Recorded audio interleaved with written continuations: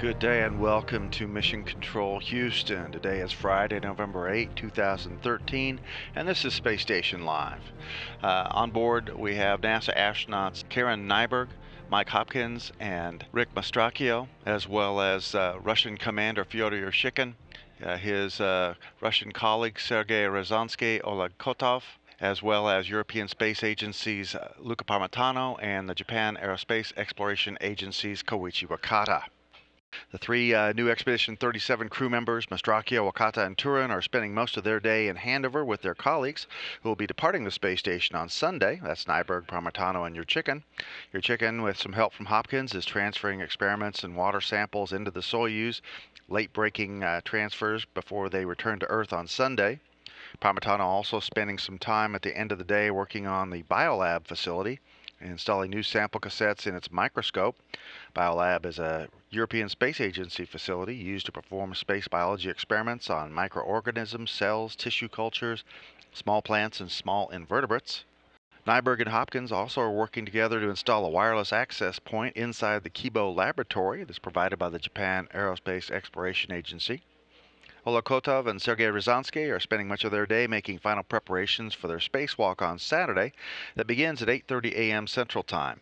During the spacewalk, they'll be displaying an Olympic torch that is headed for the opening ceremony of the 2014 Winter Olympic Games in Sochi, Russia.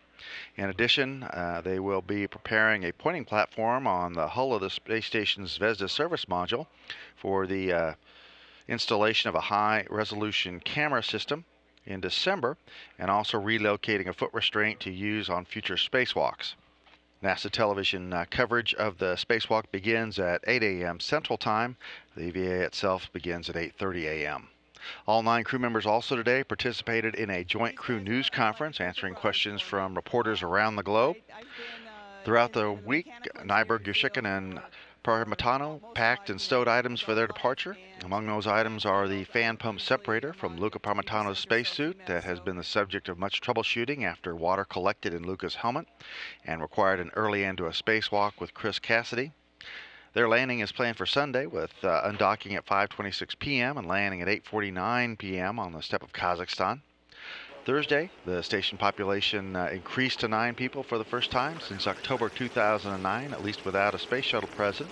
The Soyuz carrying Mastracchio, Tyurin, and Wakata launched from the Baikonur Cosmodrome at 10:14 p.m. Central Time on Wednesday, docked to the space station at 4:27 a.m. Central Time on Thursday, and hatches opened at 6:44 a.m.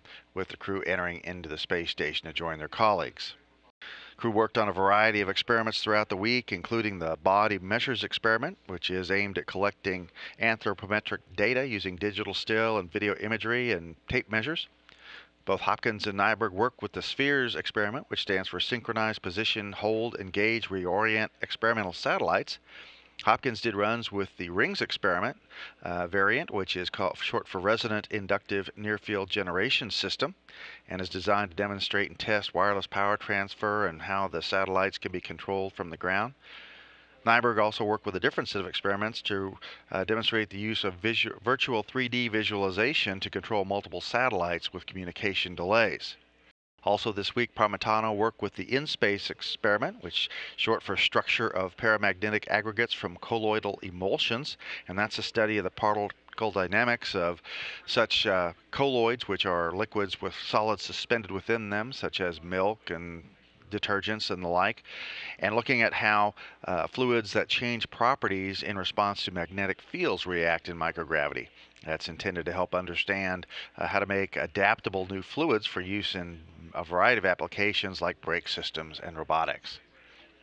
Overall, the uh, International Space Station doing very well as it orbits 260 miles above the Earth's surface, continuing to circle the globe every 90 minutes. We're looking forward to Saturday's spacewalk coverage tomorrow, and then Sunday's departure and landing of three crew members, uh, leaving the crew of six on board the International Space Station to continue their scientific research. This is Mission Control Houston.